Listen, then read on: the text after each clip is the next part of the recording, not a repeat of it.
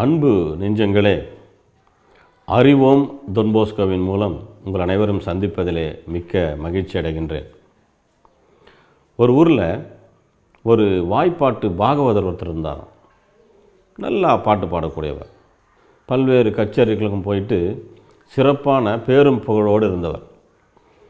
அவருக்கு ஒரு நண்பர் இருந்தார். அந்த நண்பருடைய மகன் மிருதங்கம் வாசிக்க கற்றுக்கொண்டிருந்தான். இந்த நண்பருக்கு ஒரு ஆசை. எப்படியாவது இந்த பாகவதரோடு அவனை வாசிக்க செய்ய வேண்டும் என்று ஆசைப்பட்டார். அதனால் ஒரு நாள் இந்த பாகவதர்கிட்ட போயிட்டு நண்பா என்னுடைய மகன் உன்னுடைய கச்சேரியில் வாசிக்க வேண்டும் என்று சொல்லி வாய்ப்பை கேட்குறாரு இந்த பாகவதற்கு விருப்பம் இல்லை. இருந்தாலும் நண்பன் ஆயிற்றே அதனால் சரி வாசிக்கட்டும் என்று சொல்கிறார் ஒரு நாள் ஒரு கச்சேரி நடக்குது. அது முடிஞ்ச உடனே இந்த நண்பர் வந்து பாகவதர்கிட்ட கேட்குறார் என்னுடைய பையன் உங்கள் பாட்டுக்கு நல்லா வாசித்தானா அப்படின்னு. உடனே அந்த பாகவதர் சொன்னாராம் என் பாட்டுக்கு எங்கே வாசித்தான் அவன் பாட்டுக்கு அவன் வாசித்தான் அப்படின்னார். உண்மையான வெற்றி அதனுடைய ரகசியம் என்ன? ஒரு முறை ஒரு இளைஞன் சாக்ரட்டிஸை சந்தித்து வாழ்க்கையில் உண்மையான வெற்றினா என்ன?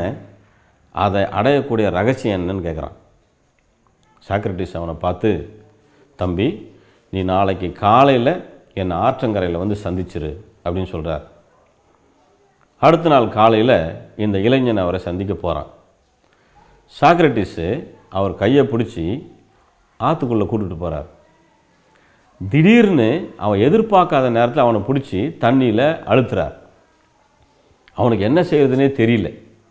இந்த சூழ்நிலையில் அவன் வெளியே வர்றதுக்கு முயற்சி பண்ணுறான் சாக்ரட்டிஸ் விடுற மாதிரி இல்லை. ஆனால் கொஞ்ச நேரம் கழித்து அவனுக்கு முடியலன்னு தெரிந்த பிறகு கூட ஒரு சில வினாடிகள் கழித்து அவனுடைய தலையை நீரிலிருந்து வெளியெடுக்கிறார். அப்போ அந்த இளைஞன் திக்குமுக்காடி சுவாசத்திற்காக கஷ்டப்படுகின்றான். அவன் சுவாசிக்க இயங்குகிறான்.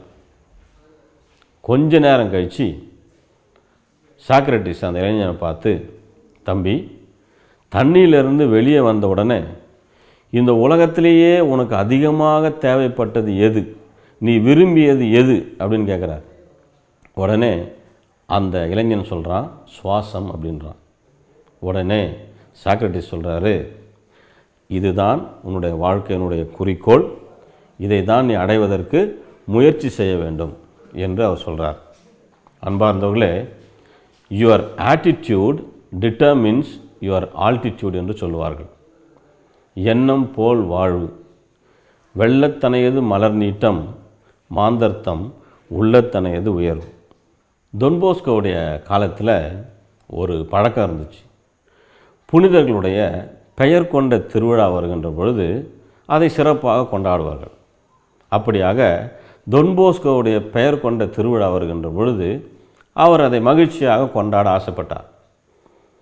அப்போ என்ன செய்கிறாரு தன்னுடைய மாணவர்களை பார்த்து உங்களுக்கு என்ன விருப்பமாக இருக்கிறதோ நீங்கள் என்ன ஆசைப்படுறீங்களோ அதை ஒரு சின்ன பேப்பரில் எழுதி நேரடியாக கூட நீங்கள் என்னிடத்துல தெரிவிக்கலாம் அப்படின்னு சொல்லுகின்ற பொழுது நிறைய பேர் பேப்பரில் எழுதுகிறாங்க ஒரு சிலர் எங்களுக்கு விளையாடுறதுக்கு பால் வேணும் நாங்கள் பிக்னிக் போக வேண்டும் நல்ல சுவையான உணவு வேண்டும் என்றெல்லாம் கேட்குறாங்க ஒரு சிலர் வந்து எங்களோட ஃபீஸில் வந்து கொஞ்சம் குறைச்சிக்கணும். இப்படிலாம் கேட்டிருக்கிறாங்க. இதையெல்லாம் தொன்போஸ்கோ பெருசாக அவருடைய கவனத்தை ஈர்க்கவில்லை. ஆனால் ஒரு கடிதம் மட்டும் அவருடைய கவனத்தை ஈர்த்தது. அந்த கடிதம் தோம்னிக் சாவியோ என்கின்ற ஒரு மாணவனால் எழுதப்பட்டது.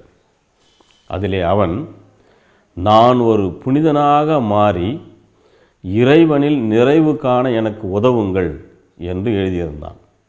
இவன்தான் பிற்காலத்திலே புனித தோம்னிக் சாவியோவாக மாறினான். ஆம் அன்புக்குரியவர்களே இவன் மட்டுமல்ல இப்படி பல்வேறு மாணவர்கள் தொன்போஸ்கோடைய ஆறற்றிலே புனிதத்துவத்தோடு விளங்கினார்கள். நாமும் புனிதத்துவத்தோடு வாழ அழைக்கப்படுகின்றோம். அதை குறிக்கோளாக வைத்துக்கொண்டு வாழ அழைக்கப்படுகின்றோம். அதற்குத்தான் தொன்போஸ்கோ சொல்வார் நீ புனிதனாக வேண்டும் என்று சொன்னால் உன்னுடைய ஆன்மாவை நீ காப்பாற்றிக் கொள்ள வேண்டும் என்று சொன்னால் நீ ஒரு சலேசியனாக மாறு என்று சொல்வார். அன்பார்ந்தவர்களே நாம் எதை நோக்கி சென்று கொண்டிருக்கிறோம்? புனிதத்தை நோக்கிய பயணம் எப்படி சென்று கொண்டிருக்கிறது என்று நாம் சிந்திப்போம். வாழ்க தொன்போஸ்கோ வளர்க அவர் தம் அன்பு பணி.